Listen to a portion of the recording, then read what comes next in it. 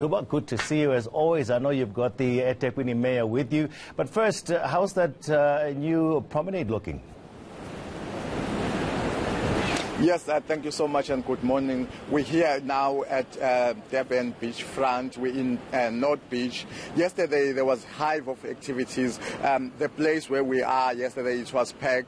Uh, today it looks like um, there are um, a less number of people that have come out, but we believe that as the day goes by, maybe um, a number of people will still come. But let me speak to the mayor, Mxolisi Kaunda, to understand um, since the festive season, Babu Mayor. You've been very busy here in eThekwini. Let's talk about yesterday and the long weekend, how it, it has been in, in. Yes, for today, the day is still early. People are still coming in numbers. But we had a very good long weekend with less incidents. And we wish to thank all people and our visitors who behave very well in our city. Uh, with the exception of few elements uh, who think that they are clever than others those who assaulted our officials, those who are cleaning the beach, and uh, the police officer. But we are happy that all of them were apprehended on spot and they are going to face the music that they wanted to face. We are not going to tolerate any misbehavior, any transgressions uh, in our city during this season as well. So our law enforcement agencies are all out there to ascertain that safety of, of, of our people and visitors is guaranteed. On that incident, Mayor, can you give us the details? What happened? No, it's just people who were just consuming a lot of liquor when the police officers were directing them that they are not allowed in a public space uh, to consume uh, liquor openly. So they, they, they, had some arguments with the police officers. They started to attempt uh, assaulting our police officers. So therefore they were arrested on the spot. so. It's about three of them uh, who were involved, and uh, others as well are being arrested. But since we started the festive season, we have arrested more than 65 drivers who misbehave, who, uh, who were thinking that driving under the influence of alcohol is something which is permissible. So therefore, we had to show them that we are more than ready for them, and we are not going to tolerate anyone who will be driving uh, under the influence of liquor. And uh, our roadblocks are all over. I'm sure you have seen it. After all our uh, events and festivities, we make sure that we clean the road. Those who are not supposed to be on the road, we take them off the road. But Mayor, a few weeks ago, you opened the new promenade. I mean, it's a huge place. Now, uh, the holidaymakers, they have this uh, magnificent place to visit. What else other people can see when they come to Durban?